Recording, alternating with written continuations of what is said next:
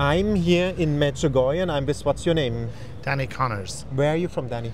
Uh, my parents are from New Ross, County Wexford in Ireland, um, but I live in London at the moment. Well, uh, I have, uh, live in partly in London and partly in the Cotswolds. And you told me you have been over 20 times in, in Medjugorje. Over 20 times in Why do you come back all the time? I feel with all my heart that um, Our Lady invites me back. I feel that when I come here, a special part of um, my body and my that, that sounded wrong, but I mean I feel special uh, in me that God says to me and Our Lady, "Come back again, Danny. Bring your wife and children." Keep coming here. I'm here all the day. I'm here all day, every day. I've just came back with my friends Johnny and Colleen Cash from, um, and some more of us, my son Miley and uh, Kathleen Purcell from uh, Guadalupe last week. We went to Our Ladies of Guadalupe in Mexico. Wow. That was amazing. It was amazing. But um, coming here, to be honest with you, it's like a, a new lease of life. It's like it pushes you up and say, wow, you know, there's no taste buds like it. There's no Don Perrier, no food, steak, nothing can give you the taste of Medjugorje. And what does it for me every time is to see so many people going to confession, reconciliation with God, and the, the devout that they have for Our Lady, the love they have for the Mother of God. This is what does it for me. When I see men walking around from all walks of life with their rosary, Here it is, man. here it is. This is the greatest weapon in the world. Explain. Explain the rosary. The rosary is a weapon that no mass destruction, no in the United States of America, and nowhere in the world have made anything as powerful as the blessed rosary beads. And when you're holding the rosary beads, I truly believe that I'm holding hands with Our Lady, the Mother of God. And when we pray the rosary, Our Lady is listening in. She's tuned in. She's saying, Yes, my son, come on, let's hear that rosary. Get your children around. Throw out the cans of beer tonight. Leave the wine in the fridge. Get together and pray my rosary because there's nothing like it, never was and never will be. It does it for me every time. And all my people, same, my Irish traveller. I'm from the Irish travelling community. And all my people, their love for God is striking. We done the big um, the big mountain yesterday, and I said I remember when I was helping my dad. It don't seem long ago, and the way the young boys was asking me, Danny, are you okay? Are you all right? Do you want to help? I said, love, the love that's here. Why don't we take it home with us and share that same love back yonder, wherever we go? Take a bit of this home in our parish and share it. Amen. Amen. it's amazing, Danny.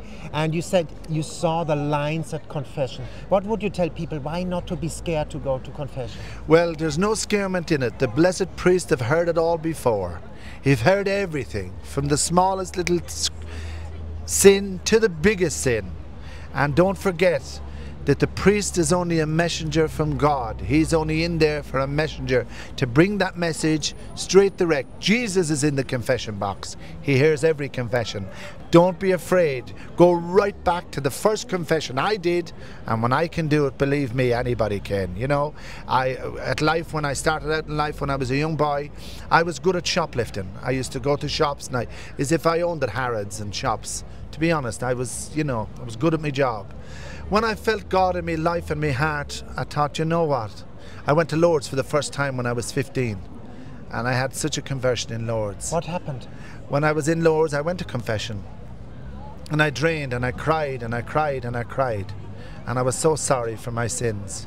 So if I, as I say, so if I can go to confession and confess my sins, like I said here, there's men come here that haven't been to confession for years. I know that, and women. And then when they come out, they're just a different person, and you can see it in them. You, as, soon as they walk from the confession booth, they walk down, they say, "Hiya, Johnny. Hiya, Danny. Hiya, Colleen. Hiya, Marie." You can see the feeling they have. They're different when they walk in, when they come out of confession here in Medjugorje. Wow, what a change of life. A new lease of life. It's like the everlasting battery. No battery will work like that. That's the best.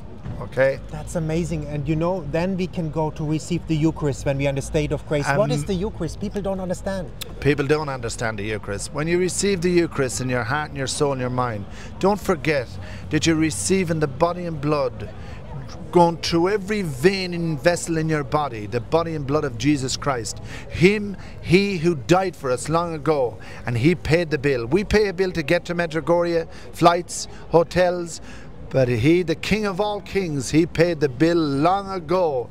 And when we receive him in this holy mass, we receive everything we ever want to receive. We receive the gifts of God, our Father, in our hearts and our soul. After going to confession, then receiving the body and blood of Jesus Christ. It do not get any better than that. It never has done and it never will.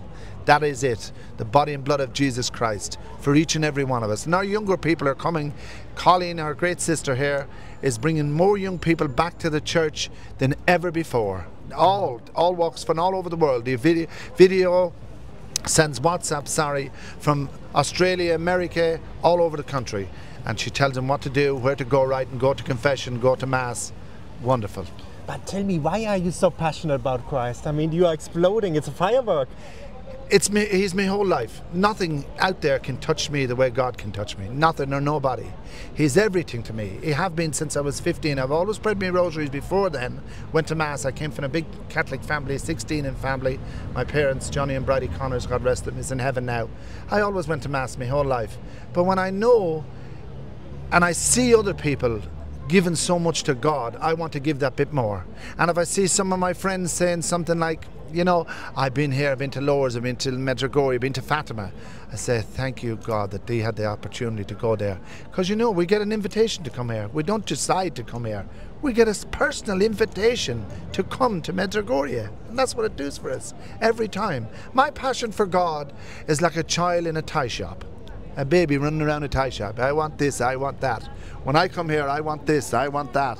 I want it all. I really want it all. But you know, a lot of people they think God the Father is an angry old man with a white beard. He wants to put us to hell when we make a mistake. No, but no. How is he? You know it. No. Our Father God is a forgiving God. He's a great God. He loves us dearly with a passion. And don't be frightened of Him. He loves us. He created us. We're His DNA. We belong to Him. So, my God and my Savior Jesus Christ, do not be afraid of him. He's not a fearful God, he's a kind, loving God. Jesus Christ. The Holy Family, Jesus, Mary, and Joseph, bring them to your families and you'll have a new lease of life. Amen. And God bless you all. Thank can, you for can listening. Can I just say one more question? So interesting. What, what, what is so powerful about Our Lady? Our Lady is the Mother of God. We all know that. And for Jesus to love us more, go through his mother. Go to his mother, pray to our Blessed Lady, Queen of the Immaculate Conception, and Jesus will say, like if you were kind to my mother, even if I didn't like you for some reason, if you were kind and good to my mommy, I would get to love you. Be kind and good to Jesus' mother, and he will be kind and good to you, as he always was and he always will be. At the end, tell why people should come here.